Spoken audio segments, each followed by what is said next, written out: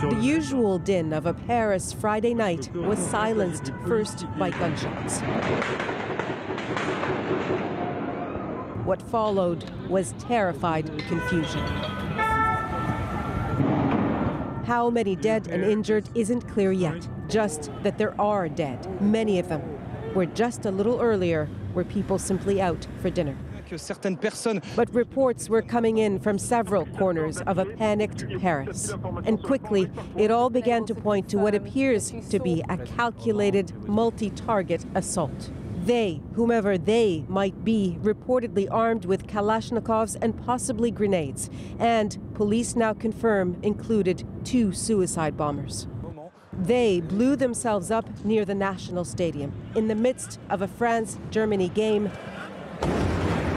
The sound of one explosion caught here on camera. The country's president, who was in the crowd, was taken to safety. He then addressed the nation. Moment où je m'exprime, As I speak, terrorist attacks of an unprecedented extent are taking place in wider Paris, says Francois Hollande. There are dozens of dead, many injured. It is a horror, he says. Still, bizarrely, the game went on. But when it was over, some 70,000 fans were kept inside the stadium for their safety. The night would still turn darker in yet another corner of the city.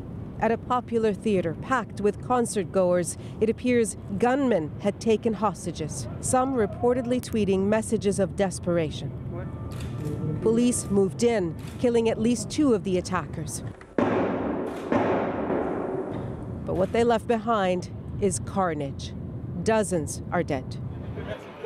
Tonight, Parisians have been asked to stay home, while Hollande told them he's asked for military reinforcements to prevent any other attacks. Nahlah Ayed, CBC News, London.